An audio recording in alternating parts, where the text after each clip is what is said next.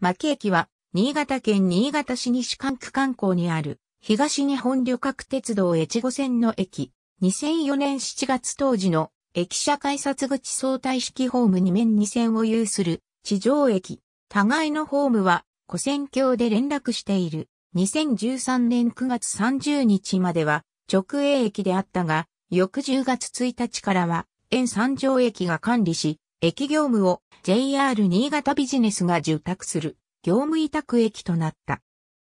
駅舎内の改札口には自動改札機が3通路設置され、全通路で Suica が利用できる。駅舎内には有人改札を兼ねるみどりの窓口、自動券売機のほか、待合室、自動販売機などがある。トイレは改札内外に1箇所ずつ設置されている。以前、待合室内には売店があったが、すでに閉店した。越後線は、1980年代より、新潟、内野間がほぼ終日、約20分間隔で運転されている。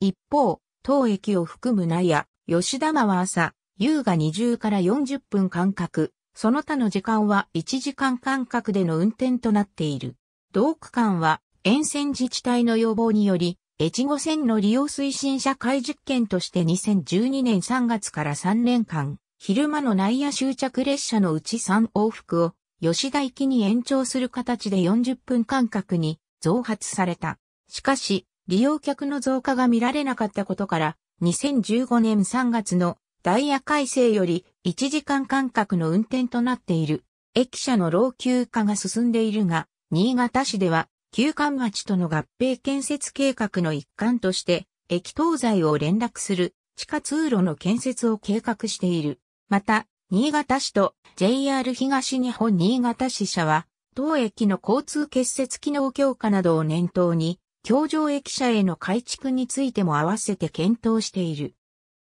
2019年現在牧駅橋上化に向けて JR 東日本と協議している。JR 東日本によると、2018年度の1日平均乗車人員は2341人である利用客数1。列車の運行本数の割には多くの利用があるが、近年は横ばいから若干の減少傾向にある。近年の推移は以下の通りである。駅周辺は西関区間地区の中心地。